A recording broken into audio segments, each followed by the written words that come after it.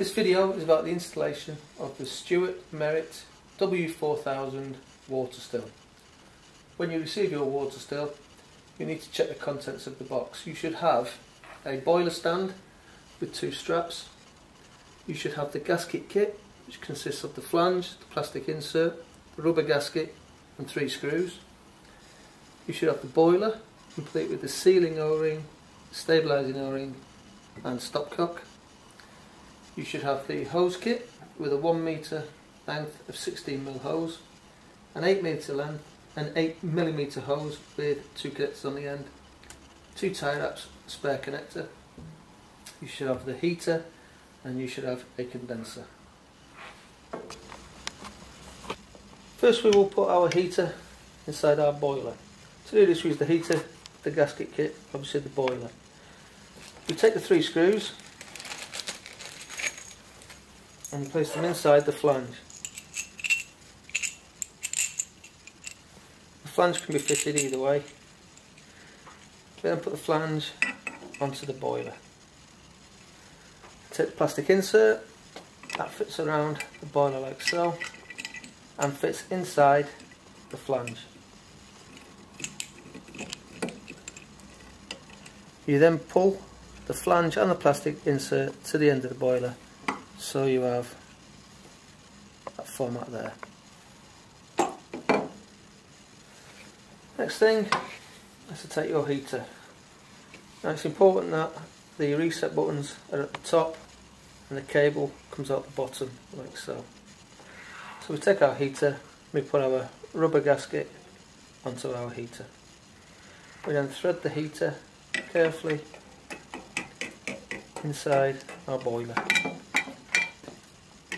So, and that's in there, we can then do up the, the screws.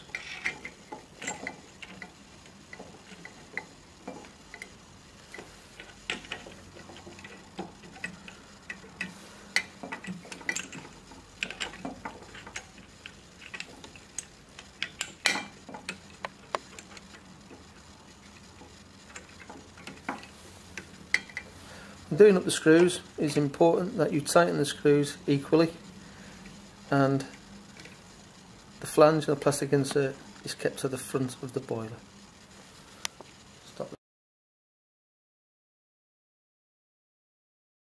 Okay, what we do then is we, we get our two straps, she's got a spring on the end, and we place the springs on the rear of the cradles. So we then take our heater and boiler assembly with our cable hanging down and we thread the cable through the hole in the base.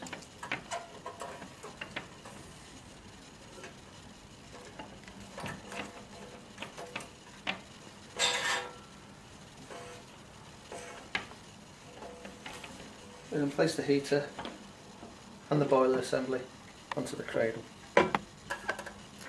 We can then take our straps and connect the straps to the front like so.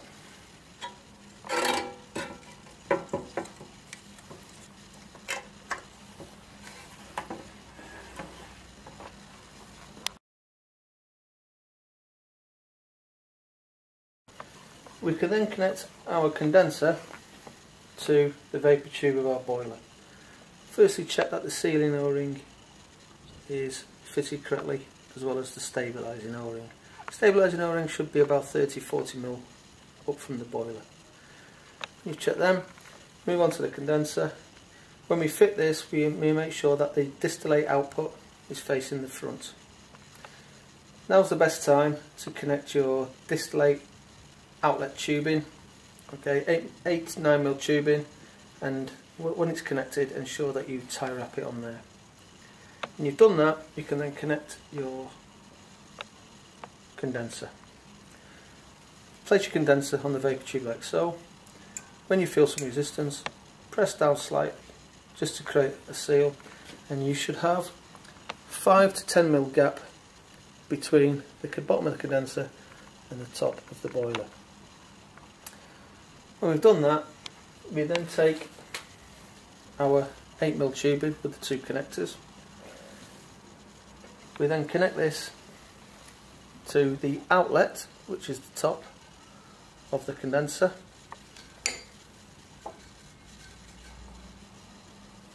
We then connect it to the connector side arm of the water constant level control.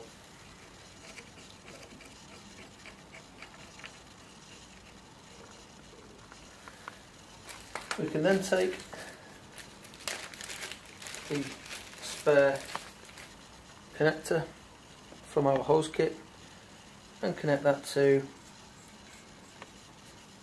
a cold water inlet connector to the condenser which is on, on the, uh, the lower.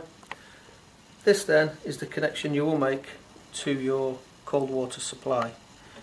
Use quality tubing and make sure you use hose clips, Tyrex etc when connecting it on. We then take our 1 metre length of 16mm hosing. Now we're going to connect this to the drain of the boiler water constant level control there. What we do is we place it into a beaker of hot water. This will make the tubing more supple. And we found between 20 and 30 seconds uh, is enough to, to, to enable us to fit the tubing onto the drain here safely.